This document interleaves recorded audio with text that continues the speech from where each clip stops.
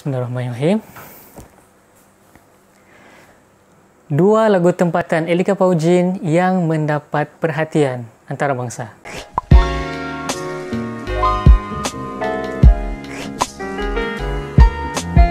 Tuan-tuan dan puan-puan, Elika Paujin ini merupakan salah seorang penyanyi wanita Malaysia yang berasal daripada Tambunan, Sabah.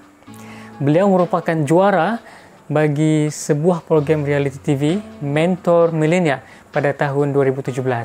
Dan apa yang menariknya lagi, beliau baru sahaja berumur 18 tahun pada ketika itu, tahun semasa lah.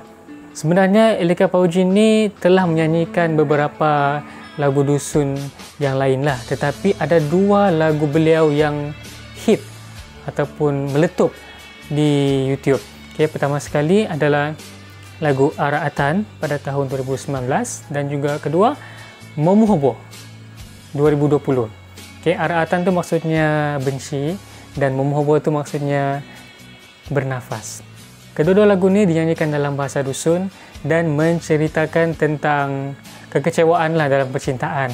Okay, merasa diri mereka tu dikhianati oleh pasangan mereka. Ini kes-kes buaya lah tuan-tuan ya.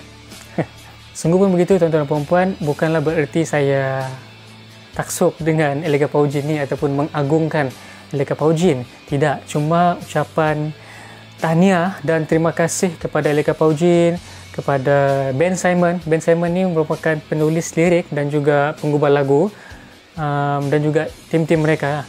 Okey, tahniah kerana membawa lagu-lagu tempatan Sabah, lagu-lagu dusun ni ke satu level yang lain lagi. Bukan level-level capayam lah.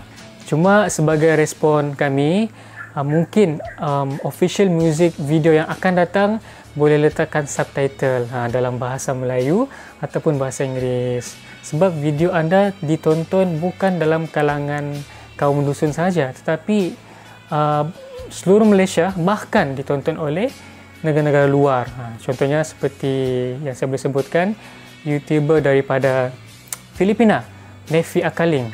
Okay. Kedua, Indo React daripada Indonesia dan beberapa YouTuber-YouTuber lain lah yang memberikan uh, react ataupun reaction terhadap muzik video Leka Paujin ni. Sedia maklum, Leka Paujin ni terkenal dengan high pitch uh, beliau kan. Akhir kalam, Walaupun saya payung lagu penyanyi wanita pada hari ini, satu je saya mau sebut tentang perempuan, saya sayang isteri saya.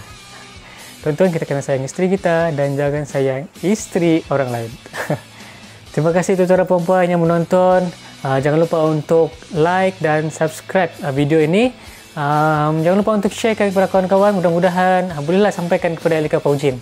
Mudah-mudahan mereka mendengarlah. Okey, sekian. Assalamualaikum.